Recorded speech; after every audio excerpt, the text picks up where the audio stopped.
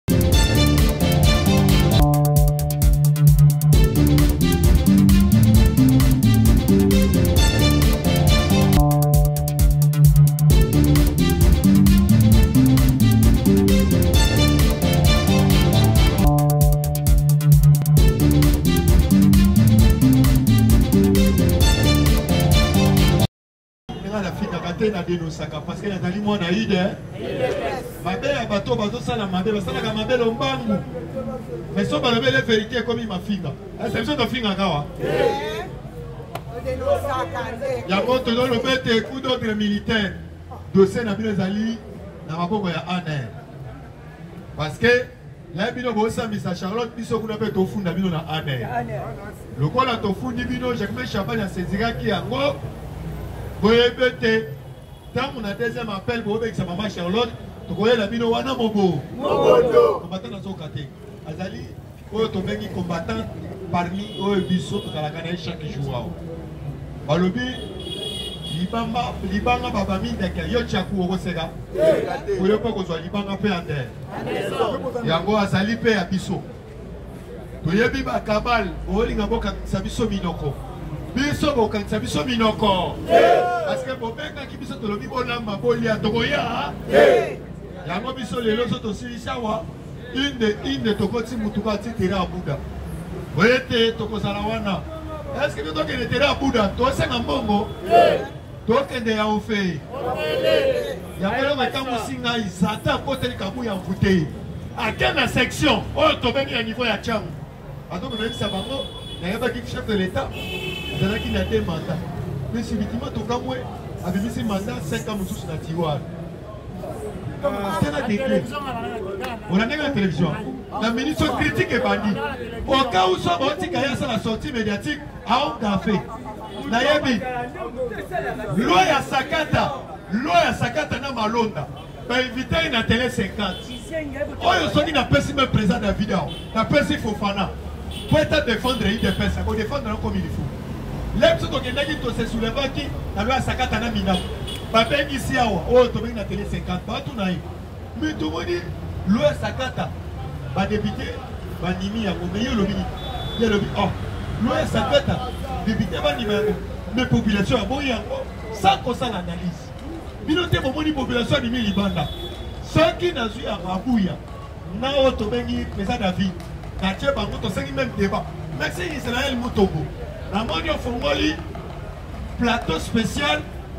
mpo na changement ya constitution israel mutombo naseki yo s'il te plaît zwa président david tya bango débat contradictoire na kabuya président david akobeta ye ya desordre oyo te combattant na loi ya sakata na mineko na tele secret journaliste atuni ye lakisaki pole tosu jolise moko mo ezokimaka atuna ye alobi papa yo omoni ndenge nini eske ondimi yango alobi no population aboyi yango omoni te population abimi na balabala asoki kaka wana akontinue te mais soki topesi ye akodevelope na baarticle yango afo oleka na média il faut d'abord kotanga soki otali moyen ya se défendre de devoir adversaire ozali na yango boye te combattant te bobetela bobetela oyo tobengi président david maboko azopesa président david azopesa bino actualité politique nayebi façon oyo azalelaka le monde te nayoka te le monde tika motu na succès na ye yango nazobelela edini yele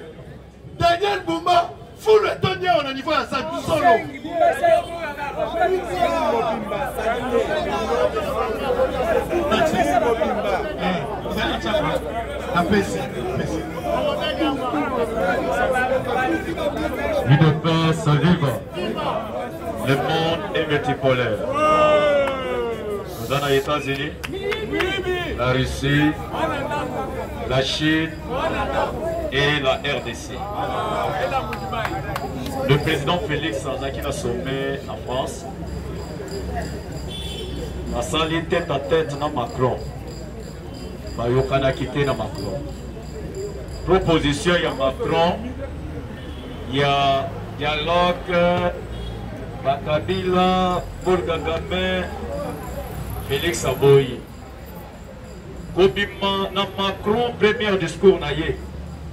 abosani RDC ayebi kaka agression ya Ukraine ya Liban ayebi RDC te tozosenga président Félix parce que papa ayokanaka mpe bana na ye le président tolingaki te okoma na france parce que toyebi ke la france est le commanditaire ya guerre ya est de la république france c'est lui le parrain de paul kagame macron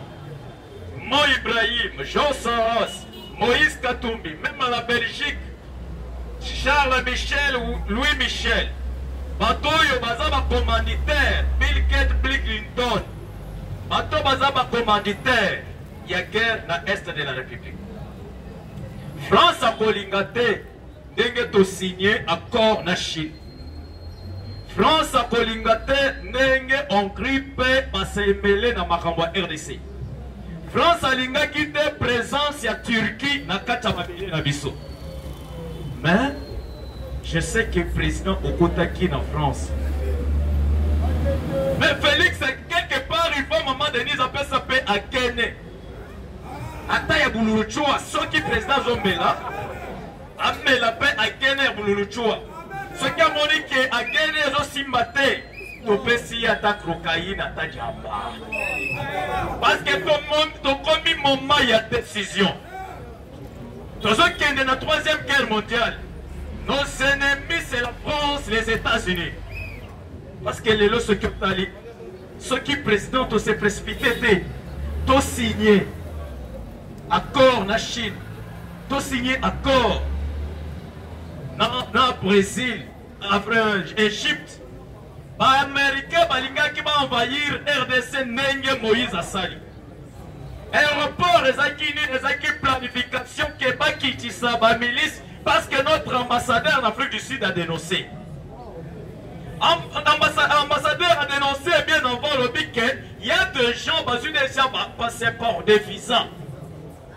bakoti deja bazalaki deja bazwaki moyen ya kokota na frontière te parce que edi kapende abloke bango molendo pweto na molendo à 100 mètres aéroport eza kote ya pweto aéroport eza place to wana na sud na est à 100 mètres 100 mètres molendo kote ya lac en face ya zambie basali piste 1800 mètres à 80 mètres eleki même aéroport oyo ya lwando ya lubumbashi eh! mais planification moïse asali si les autorités congolaises costa mutamba c'est ça examen ya suka ya costa mutamba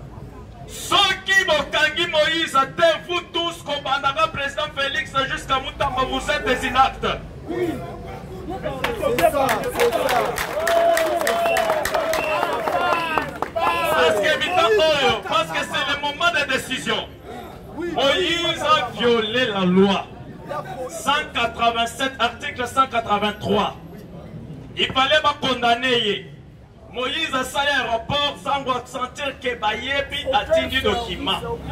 au service et de deux soki bakangi Moïse bakangi Moïse bakangi Kabuya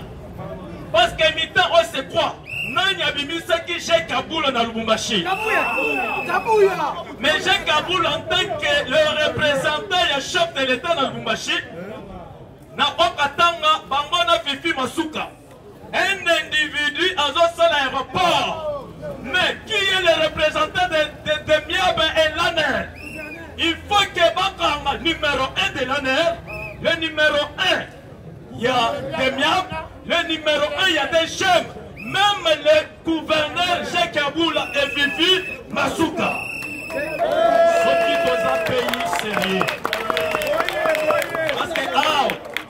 Mitan oyo comment vous êtes là pour flatter des individus Kaboul a qui j'ai Kaboul pour na intérêt na ye personnel comme gouverneur na Okatanga tomanda une distraction c'est lui oyo a sauvé pourquoi bakangaki 7 kikuni bakangi 7 kikuni pourquoi excusez ah toza suivi C'est au moment ba récupérera ba propos na biso yango oyo. Parce que j'ai écouté David a dit dans une forme figurée, pas forme propre, que ceux qui bakangi mutu tel tel a déclaré bango ba inapte dans sa figurée. balinguistique baza bato ba français parce que bazwaka kaka biso boye oyo balobaki babengi félix inapte amutu abengi félix inapte aza te alobi na sens figuré bakanga motu wana quoi qu'il en soit sinon sens figuré eza koza makasi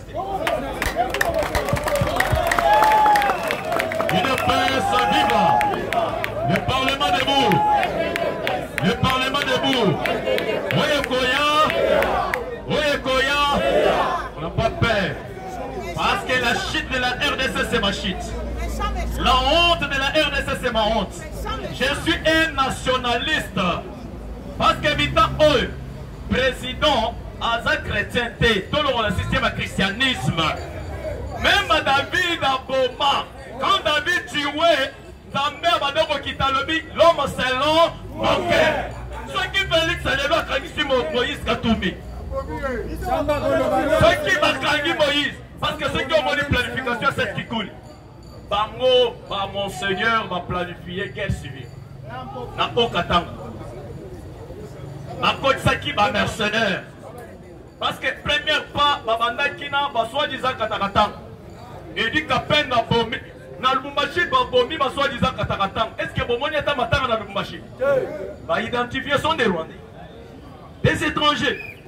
Parce que ba plan des Somaliens, comment des Kenyans bazo se retrouver na port oyo ya ya Kana. Moto ko port oyo ya Kana. Après bato wana bazo se retrouver côté ya Kabeya Kamwa. na 300 000 dollars na poche yo toza kende koluka mosala mosala wapi ozoluka mosala apres bamosusu baza na bakongo bamosusu bazalaki deja na okatanga c'est pourquoi edi kapenda créer des barrières abomi akangi bango trop bazwaki lisusu moye te ifale mena baaterir kote ya molendo planification na bango aéroport bakita piste nini les américains bayebaki macron ayebaki parce que mitan oyo la situation est sous contrôle Kaimere ayebi d'ailleurs Kamere c'était un enjeu de Nicolas Leneur le directeur des renseignements français parce que ce que otali Kamere azosalie kaka na bato oyo bazobundisa biso assemblée nationale il fallait akutana na bafrançais assemblée nationale il faut akutana na baivoirien Mais Kamerhe c'est un traître à mi-temps oyo bamata bakita. Tous sont des prisonniers awa. Pourquoi Kala lelo la Chine a déployé ceux qui ont bomoni lelo Chine à se gérer makambo ya la police. Chine On a signé des accords na Chine côté militaire bakoti ti na police lelo grâce ya délégation chinois baza awa base déploye efale bayeba nano bake na bahôpitaux babandi nano kote ya bahôpital bayeba na bamilitaire baza soigne eh, ndenge nini parce que les accords na chine China pe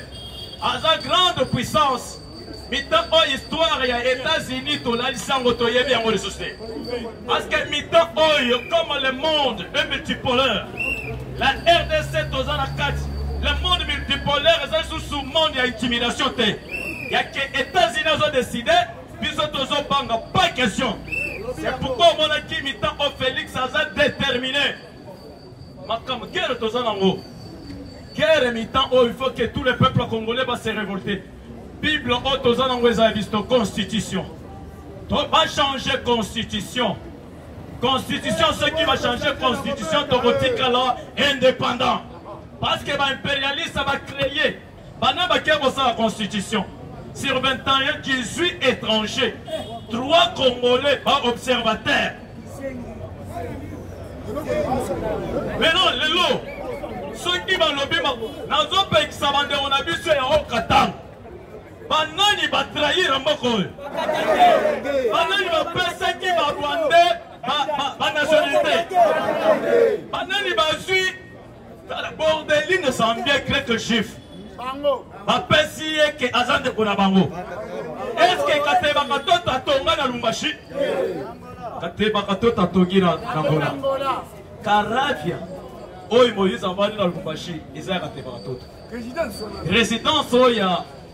ya golf eza ya katebato bolakisa biso place moïse atongi moïse atongi te d'ailleurs moïse bandeko na biso ya okasang de jeune paresseux oyo bazotelema mpo na kosopose bakangi moïse moïse azalaki gouverneur na okatanga asali 9 ans en tant que gouverneur après ateki iranium cobalt coptan azalaki na babituma na ye akuna matata ebanda kolala na kasumbalesa moïse asali nini tous les commerçants congolais oyo bazalaki na katanga okoki koteka makala te ni farine te soki oteki sans licence ya moïse bakangi yo baoyo bazobetisa babrike soki bakuti yo ke ezobetisa brike sans licence ya moïse bakangi yo moïse asali nini na o katanga cipima se bandeko na biso ya o katanga eza kaka mazembe kobina kokende na kamalondo bomeli esili ke moïse yoko nduku yenu nduku yenu ya ya wapi parceke mitan oyo bato bazoboma le pain du sang o bino botelemi motu oyo soki aza ndeko na bino azoprepare pain du sang ya bandeko na ye propre na kati ya katanga parceke bato munongo oyo aza na assemblée nationale awuti wapi tanzanie banani bapesi nationalité ce sont les katangais mais non francis moyuma awuti wapi rwanda azalaki exile na namibie Bakatangais bazwi nationalité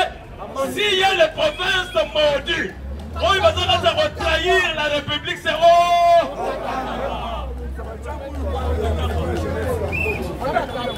parce que mitan oyo il fallait tout la province nyonso bofongola miso parce que o katanga ata un centimètre okende na maboko ya baimperialiste te parce que lelo fifi masuka ye kolozi ezalaki ferme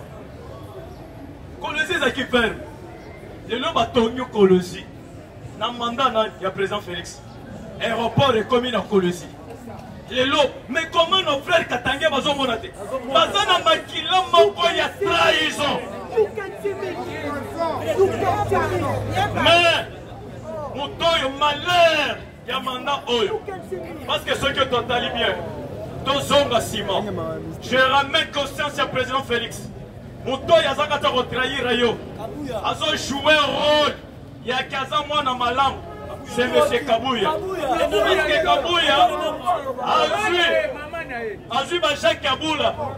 baoyo katanga ebele mpo na kodestabilize président félix olandi willi mishika mpo na comité de commission na assemblée nationale adeske biso toyebisaki bino idps bosede place ya président ya assemblée nationale bazopose biso mena baquestion nani asali ke kamela akoma président ya assemblée nationale mena kamela alingi azo comité de gestion Comité de dispute, comité de défense, tout na kati ya assemblée nationale nani atindaki ke kambele azala président ya assemblée nationale mais bato wana bazosopose balingi idps arécupere comité de défense te maintenant comité de défense c'est poumon ya assemblée nationale parce que comité de défense il faut gérer toyebi technologie logistique oyo okotaka na kati ya défense toyebi makambo nyonso eza kati ya koleka Mais Kamere il faut alingaki a récupérer tout na maboko na ye.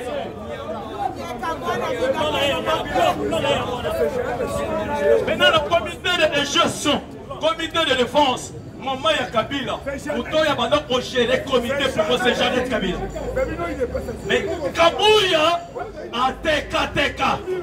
azoteka na niveau ya kodestabilise manda ya président felix bofinga famille tshisekedi te kabuya aza na plan aluka bain du sang mais famille tshisekedi balingi bakombata bakufa te mais mais planification ekozala tokokanga kabuya ata na mbeto na ye pase awa bakokanga kabuya ata na mbeto parce que bofongola miso tala alvina chikoji alvina chikoji mwana koli bake na mission na oka na kanada na tope kabu kabuya tindi kalala serge kalala na mandela bake kozwa moto babeti christian lukoji mo alvine butei na motu nani atindaki bakalala mais kalala c'est un magicien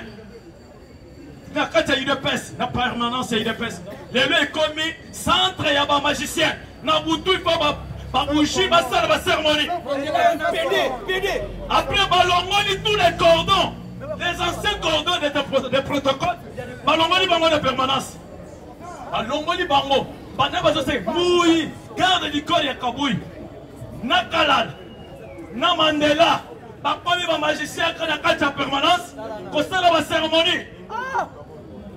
ni mingwele na site ya mingwele tala babetise famille tisekedi baza wapi kabuya nini lelo abandi koimite makambo tous les combattants baza kati ya kosala parce que trésor akofi yango trésor akofi après bozozwa bouteille bobeti alvine chikoji mwana akoli na motu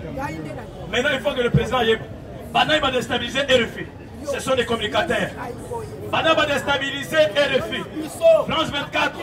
tv5 ce sont des parlementaires de bo mais na kata ya campagne moto ata moko te akoki kosala face tala lelo makambo basali lelo alvin mais tozosenga président félix place ofandi kozonga na yo toyebi lelo na 5 il faut zonga mbangbango zonga après makambo na bino sommet zongo résoudre problème au sein de l'udps bengisa kabuya ata kobeti ye bambata na oya beta ye parceke mitan oyo kabuya c'est un souterrain qui pique comme un scorpion siya la semence du serpent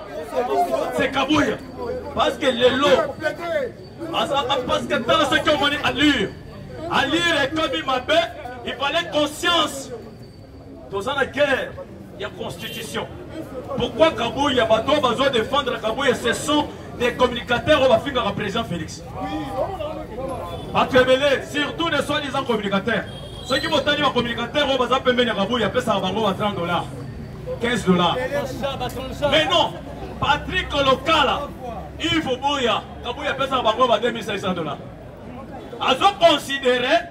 des communicateurs ba Peter Achani ba proche ya Moïse Katumbi bango bafingaka président bakomi lelo bloc ya Kabuya mpo na koatake les communicateurs de l'UDPS il faut que le président parce que les défenseurs ya UDPS sont des communicateurs des parlementaires Kabuya Achite Goliath ya nini? Monsieur Kabuya aza ancien secrétaire général de l'UDPS. Mais tozo senga président Félix. Maman Marthe, maman Marthe aza innocente. Famille Tshisekedi baza ba innocent. Mais il faut que président l'arbitre aya kokata makambo balongola Kabuya na na kati ya permanence. Ekozala délivrance totale. Fachi Chua.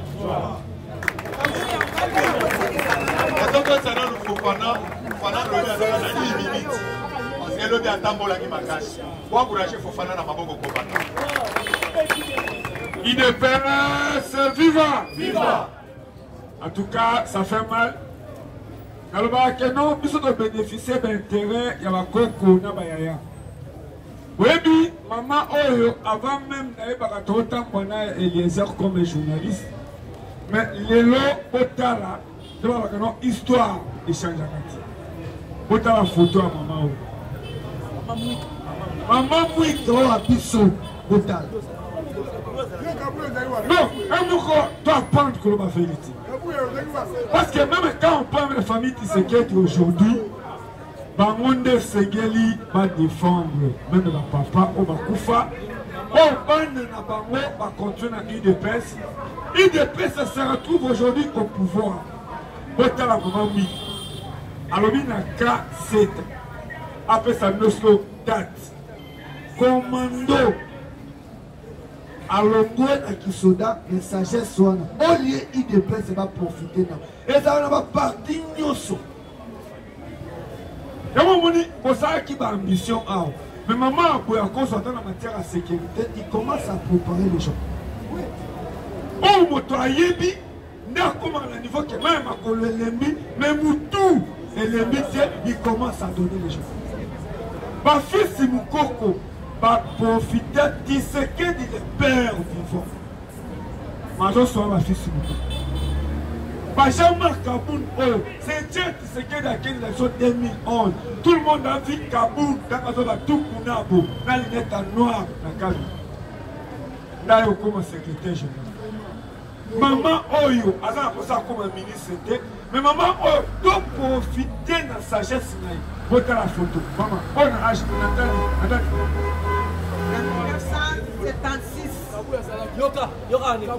1976 ozalaki nani na teni oyo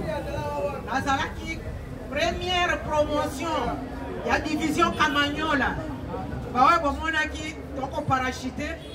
bande ya boulevard du 30 juin babukaki yango na bacoréen mpo tosala bademonstration awa na république du zaïre ya bamama mobutu aye kotala biso maréchal mpe ya son ame atali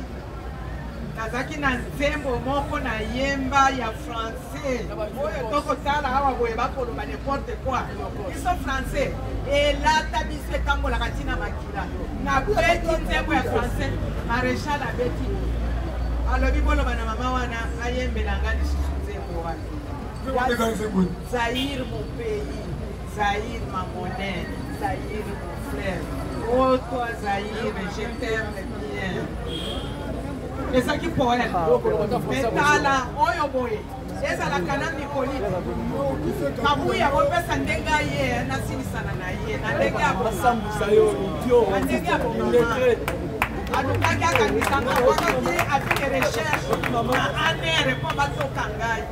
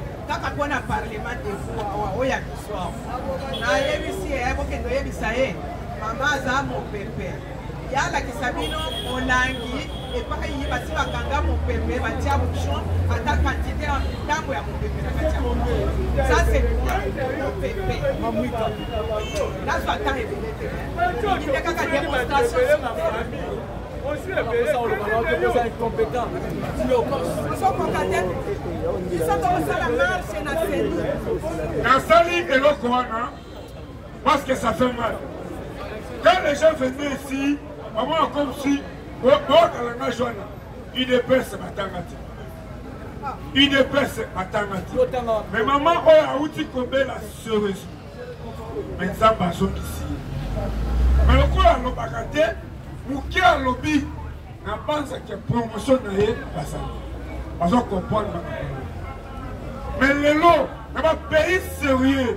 ba défendaka ba valeur. Maman oyo azo mérite kozala symbole ya république.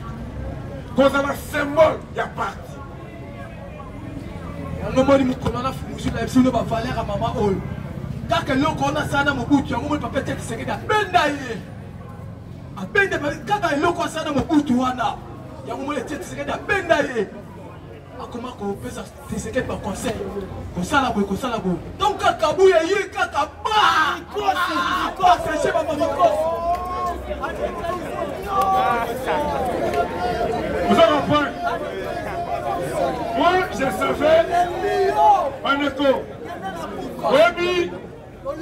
tondimaka te ke un jour ngai fofana nakotelema deba parlementaire à l'époque tozwa na ba eliezer tambwe awa na ba raoul tozomona bamiyaki lelo ekomi biso bandeko lobi botalaki émission tokomi wapi oyo elekaki ya fatière nayambi député élu ya tiango honorable shaka saka a expliquer Dieu merci aza mwana Django. alobi kakaseri oyo ezoleka na ntango azondima te koma masina distrike ya ntango ezali na 18 depute lelo baza na 19 depute national nao souleve eloko alobi awa boza awa ba idps bouti kozala na vacance parlementaire 3 mois bomonaki président de la république na oya nakolobela kinshasa baprovince bani tovoyageaka mpe bolobeli kongo nalobela kinshasa ntango président na eleko na ye ayambi baélu boza oblige mbongo oui tout le monde savait salaire ya député eza likolo ya ya ya enseignant za likolo ya militaire oyo aza na na zamba tout le monde a vu moto akomi élu vie échange na motuka esika ya kofanda mais lelo ntango ntango nasala émission na honorable benoit shakasaka soki otali district ya ntango nga nafandi na ntango na 2004 okoti bekatref nafandi na veni malema Na fin na veni Air Congo avant koma rail avant katsa mai wana. Tozalaki ba voisin na musicien Beckham, David Beckham azoyeba miziki na miso na nga azoyekola. Nakomi lobi komi na Masina aveni ya liboso na ebandeli ya boulangerie wana ipaki ozalaka bekatefu nakuti bajeni moko bazolata bagilie oyo batie kashi hotel de ville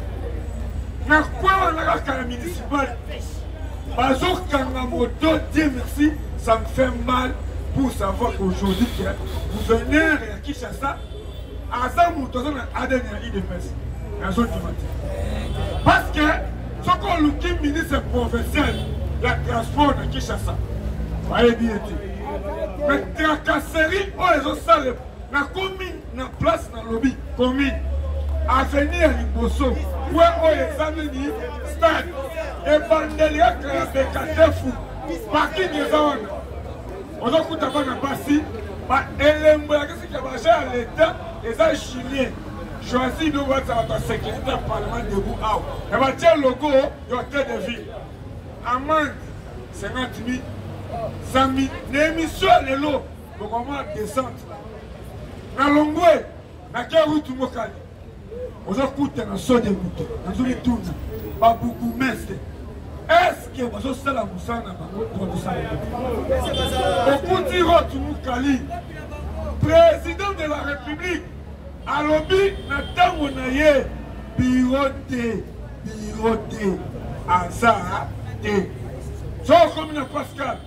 omoni jeune garçon alati kepi ya sokio biro te aza na kaka merci chinois bamatrake elo eye na loketo atie yango emusa atongoli mpo na baboye yango nde ezopesa ye outi ya kotraka seba soki okuti route mokali mpo okoma meme na po wana moyen de transport ya route mokali eza bamoto ya 3 pine kende kotala koma bato bazosouffrir bomotolongwa na kati bakoma na principal nde mosu aye kosomba spageti aye kosomba plateau ya banki aza ennemi ya moto ayebi lingala oyo ayebi cilumba oyo ayebi tout le dialecte na biso kikongo atelemisi ye eloko ya liboso o boyeboye boyeboye omona 5 mille me moto wana azoteka depo paquet ya spaghetti ou bien demi plateau ya maki mais moi je me demande est-ce que penda makambo oyo na parti udps parti au pouvoir gouverneur oyo abimi ya udps lelo vice gouverneur mlc tozo comprendre te lelelo bato nyonso baboya udps batravailleur oza kabila udps etikala yango moko udps asala tout mon pouvoir aujourd'hui bato wana baye bolandi parcours ya mama eve bazaiba bakoselaka butu makambo te ntango aleki na top congo meme kombo aza nango moto apesa ye nini président félix Mais pour nous embrouiller, oh Félix aza mayele te, oh Félix atanga te. Na bolandi émission ya F Bazaiba, ndenge alobeli qui est Félix hein, Tshisekedi ya lelo te. Mais soki tokei lisusu na kaka serie, botali présence ya excellence Costa Mutamba afutaka nga te, afutaka yo te, lelo Costa Mutamba bazolobela ye pour quelle raison aza sur le terrain aza présent na population mpe sur 54 ministre le seul ministre oyo aza koni lokola kosangu ntamba na ekipe aza soki tolongwe wana on voit dudu famba dudu famba osala mosala mpo na nini bato bayebi mosala ya dudu famba eza bafonctionnaire parce que fonctionnaire aza na mposa Numero matricule na ye ayeba numero na ye mpe mwa mbodi na ye ekotaka ayeba ke ekoti ma arrive ya dudu famba je pense ke bafonctionnaire bafingi ye nanu te batelemeli ye nanu te mais lelo constant mutamba omoni descente na ye na mwamba oyoki combien de député élu oyo baakompagne yango parce que population bazotracase na ntango eza population evotaki Depute. Mais ntango olusi yo die merci na ndako oyo papa atika obotami okoli mais individu moko boye alobi ke lopango ekomi ye mais oyo depute aplaide ka ya moto oyo avotaki ye bamoni ministre mba moko aye ngai nde ministre ya justice lokola plaignant wana aza puissant je préfère yozonga ngo na lupango soko lupango ya bino batie bakadena ministre azongisi yo alobi mutu wana aya sikoyo na biro na ngai bomoni na ntele boyebi ke topeda jacob me bakombata sala oyo nalobaka mosusu yao je suis kombata moto ayebi ke aza jeune de 2011 ti tokóma na 2018 okoyeba diabanza okoyeba jacob parce qu'à l'époque diabanza oyo bazosakana na ye lelo c'est diabanza qui donne 100 dollars C'est un jeune oyo ana mwa momoyen na ye lelo ata parlement debout baza problème awa bazoluka drapeau parti lokola idps est ce que parlement debout bokosomba drapeau parce que bosala fierté ya idps na kodemontre yango mpo na mambo etali senat bazosepela lelo kalala bakalala bazosepela lelo oyo tope kabo tozalaki na messi oyo na sena soutien ya idps ezalaki na moment oyo idps akuti azala bakandidat te baotanga bakarol adito tokota na messi oyo na mpasi pour soutenir ekala wakala pour soutenir tope lelo bozoyeba kaka tope kabu mais moto ayebi te ke messi ariska a frauda mpo na to soutenir ya bakandida wana lelo idps azwi baposte wana efo ba parlement debu bomoni na nzele naoshite awa ministre akiti na nzele bugumese wana na nzele to pede jacob mpo nini azalaki bourgmestre adjoint mais aye azorépondre na population mais lokola aza titulaire te boyebi condition jacob akufa akufa na poisson mpo na nini bourgmestre wana asali bisalasala ntango bato bazolola kofana na gombe na ngaliema ndeko nongo na poto ayi kokende kosomba lopango kuna ntango tokundi papa etienne tokutaka cimetière ya kizenga apres tokundi papa etienne ndako ezalaka te lelo bokende kote ya mozolo etienne sekedi combien de bato babotoli combien de bato basomba liboso à l'époque ezalaki kaka josé makila na cimetière bakunda bakomanda lelo jacob akei akoza kozongisa bato ya bato wana bango Bourgmestre wana abimi depute provincial ya Tseli. Atiki mwasi na ye na assemblée provinciale. Soki boyebi te, bourgmestre ya Tseli atya mwasi na ye pemesi pia. Maintenant, ntango bosiege loi elobi lokola yo messi oimi depute provincial depute national esengeli opona esika moko yazwi mwasi na ye eske population oyo evote messi bamoni sagesse ya messi lolenge asekopotaka na population nde batie ye papier me ntango yo ozwi mwasi na yo oyo alambaka fufu ayebi politike te otiki ye na assemble nani akodefendre population wana bokomesa atikali mpo na intere ya bamapanga présence ya costa mutamba akuti bamama bana bebe bana ya mike zali na bacondition bomoni baimage na bareseau sociaux balobi nini bugumese oyo ya ntina moyibi bourgmestre oyo ngai nalobi te kaza moyibi mais eza population oyo ye azokonza descende descende ministre ya justice boyebi mpasi ya kosomba esika kotonga me babimisi bato ministre abandi kotisa bato na bandako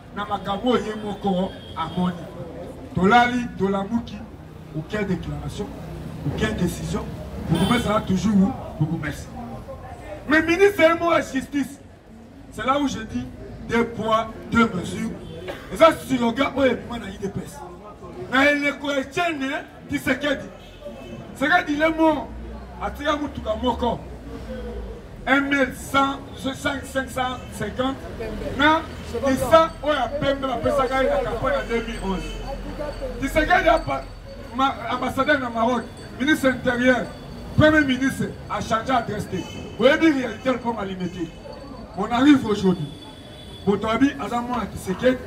fierite ya mapango fierite ya mituka na kikosel meme parti parlement debout oyo ebimisi bakandida na sénat basiège na sénat drapeau eza te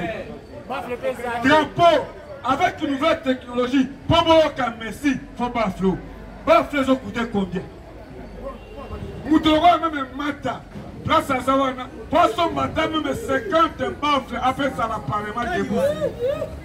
hein zéro c'est ça que je vous dis ça fait mal badesora epa bato ya bamoto soki oke kale fungula ba moto plein ba mande ba 300 ba mande ba 400 mais boyebi condition nini bazokula moto na kinshasa ok ça fait mal merci nakati yo te idepesa viva neti makambo lokola bafle oyo idepesa eza na baministre ebele bamandatere ebele bakoyosunga baparlementaire debu ata na bafle oyo te mais eza na bato mosuku baa bato ya idepesa te mais so oyebisi eloko ya kosala mo mbango eh! Lokola ba president Aime Mongo Pascal, toyebi te kaka ba combattant ba na posa bafre M susa kotiende ya biso biso 5. Nde mpe kaka nalobi boye, nayebisi bino 3 jours c'est beaucoup. Aime Mongo Pascal lokonda le sénateur akosombela biso ata 5 bafre. Boye te boye te. Ntango nakoya na kopresente yango mpe tokobetele mabo.